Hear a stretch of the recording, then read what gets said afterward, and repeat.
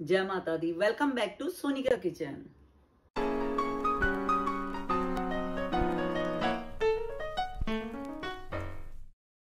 बादाम बनाने के लिए ये मैंने एक कढ़ाई ली है, जिसे मीडियम फ्लेम पर रखा है। आप कोई सा भी बर्तन ले सकती हैं। अब इसमें जो है थोड़ा सा पानी डाल देंगे। ज़्यादा पानी नहीं डालना है। चार पाँच टेबल स्पून ही डालना है। जिससे जो है दूध हमारा नीचे से जले नहीं। तो ये मैंने फुल फैट मिल्क लिया है। ये मैंने एक लीटर मिल्क लिया है। दूध को हम हाई फ्लेम पर एक उबाला आने तक पकाएँगे। सबसे पहले दूध में हम केसर डाल देंगे, जिससे केसर अपना फ्लेवर बहुत अच्छा छोड़ता है। जब दूध कड़ता रहता है तो वो अपना फ्लेवर और कलर बहुत अच्छा छोड़ देता है। जब भी आपको किसी चीज़ में केसर यूज़ करना हो तो आप स्टार्टिंग में ही ऐड कर दिया करें, जिससे वो अपना कलर और फ्लेवर बहुत अच्छे से छोड़ दे। मिल्क बादाम बनाने के लिए ये मैंने 25 से 30 बादाम लिए हैं, जिसे मैंने सोख करके पानी में रख दिया था तीन चार घंटों के लिए, और जो इसकी स्किन है, अच्छे से मैंने उतार ली थी। बादाम को जो है हम मिक्सी में दूध डाल के पीस लेंगे। बादाम को दूध में ही पीसना है। ये देखिए, बादामों को मैं सारे मिक्सी में डाल दूँगी। उनकी क्वांटिटी के अकॉर्डिंग मैं इसमें आधा कप मिल्क ऐड कर रही हूँ तो इसलिए हमें ज़्यादा दूध नहीं डालना है। बादामों की क्वांटिटी के अकॉर्डिंग ही थोड़ा दूध यूज़ करना है। तो ये देखिए, दूध में जो है उबाला आ गया है। अब इसको बीच बीच में हम स्टर करते रहेंगे। मैंने हाई फ्लेम रखी थी। अब मैंने फ्लेम को जो है लो कर दिया है। जिससे दूध को हमें 20 से 25 मिनट तक अच्छे से पकाना है। यानी दूध की जो कंसिस्टेंसी है, वो थोड़ी डार्क हो जाए। दूध को आप बीच बीच में स्टर करते रहिए।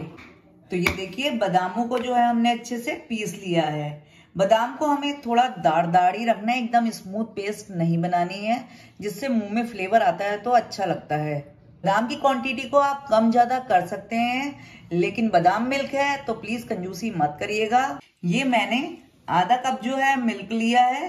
अब इसमें वन टेबल स्पून हम कस्टर्ड पाउडर डाल देंगे। ये मैंने one tablespoon custard powder लिया है। पाउडर को जो है हम दूध में अच्छे से मिक्स कर देंगे। हमें कस्टर्ड पाउडर और मिल्क को अच्छे से मिक्स करना है। मिल्क को हमने लो फ्लेम पे रखा हुआ है और दूध देखिए हल्के हल्के कर रहा है। दूध में अब हम टेस्ट के अनुसार शुगर ऐड कर देंगे। या मैंने दो टेबल स्पून शुगर ली है। मिल्क में जो हमने कस्टर्ड पाउडर घोला था, उसको ऐड कर देंगे। और उसको अच्छे से मिक्स कर देंगे।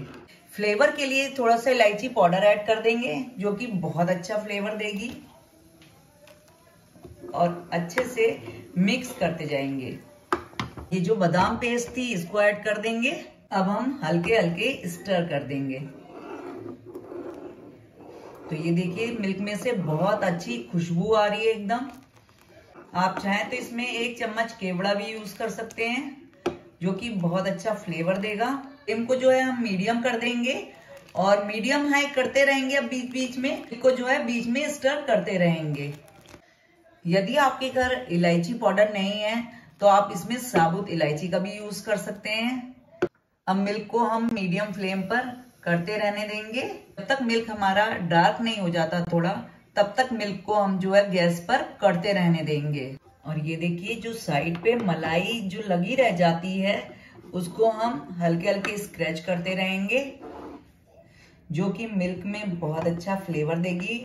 और ये देखिए, दूध की कंसिस्टेंसी देखिए डार्क हो रही है। मिल्क बादाम है तो इसमें थोड़े से बादाम भी ऐड कर देते हैं। थोड़ा सा पिस्ता भी ऐड कर देते हैं, जो कि बहुत अच्छा फ्लेवर देगा। तो ये देखिए, हमारा मिल्क बादाम हो गया एकदम रेडी अब फ्लेम को करते हैं ऑफ़ मिल्क को जो है ठंडा होने देते हैं।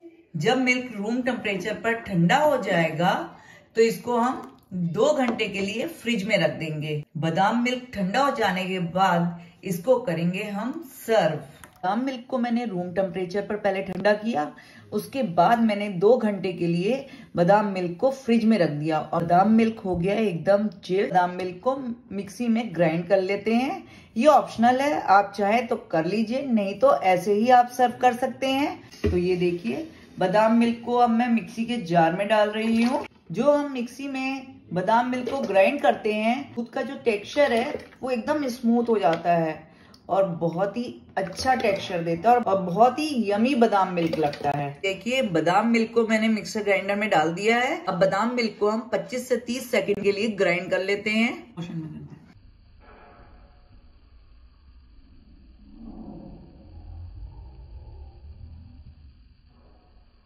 तो ये देखिए हमारा बादाम मिल्क हो गया एकदम रेडी से गार्निश के लिए बादाम पिस्ता डाल देंगे जो कि बहुत अच्छे लगेंगे।